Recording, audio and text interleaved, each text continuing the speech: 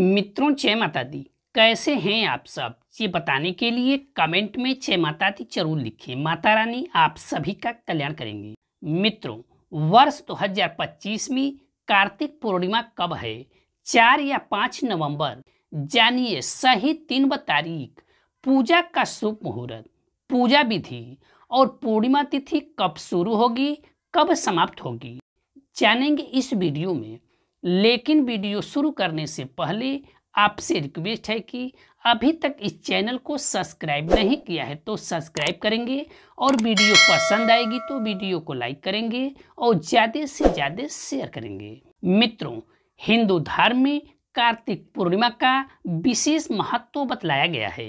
यह पर्व हिंदी पंचांग के अनुसार कार्तिक मास के शुक्ल पक्ष में पड़ने वाली पूर्णिमा तिथि को कार्तिक पूर्णिमा कहा जाता है। धर्म ग्रंथों की माने तो कार्तिक पूर्णिमा के दिन संध्या के समय भगवान विष्णु का मत्स्य अवतार हुआ था। इसलिए कार्तिक पूर्णिमा के दिन गंगा में स्नान के दौरान दीपदान होम यज्ञ और सभी देवी देवताओं की पूजा उपासना करने का विशेष दिन होता है। ऐसी मान्यता है कि कार्तिक पूर्णिमा के दिन ही भगवान शिव जी ने त्रिपुरासुर नामक राक्षस का वध भी किया था। इसलिए इसे त्रिपुरी पूर्णिमा के नाम से भी जाना जाता है। ऐसी मान्यता है कि कार्तिक पूर्णिमा के दिन ही माता तुलसी का बैकुंठ में आगमन हुआ था। इसलिए कार्तिक पूर्णिमा के दिन माता तुलसी की पूजा का खास महत्व बतलाया गया है। मित्रों, अब पूजा करने की विधि को भी जान लेते हैं। कार्तिक पूर्णिमा के दिन सुबह जल्दी उठकर नित्य क्रिया से निपटकर स्नान आदि कर लें। इसके बाद साफ़ व शुद्ध कपड़े पहनकर व्रत का संकल्प लें।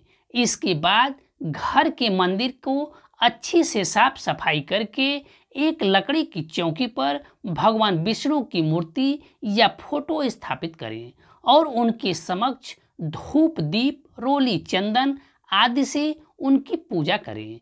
इसके बाद भगवान विष्णु माता लक्ष्मी के साथ सभी देवी देवताओं का गंगा जल से अभिषेक करें और चंद्रमा निकलने के बाद जल का अर्घ देने के बाद पूजा समाप्त करें।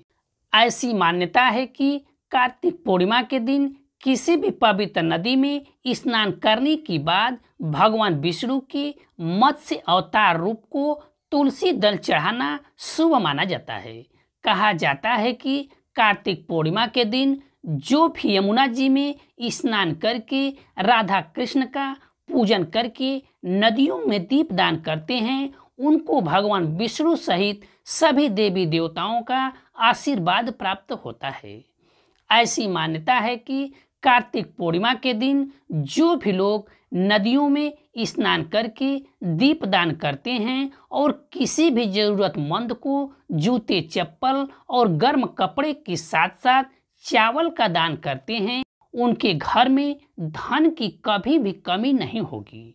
मित्रों, अब पूजा करने का शुभ मुहूर्त को भी जान लेते हैं। मित्रों, अब आपको बता दें कि वर्ष 2025 में कार्तिक पूर्णिमा पाँच नवंबर दिन बुधवार को मनाई जाएगी।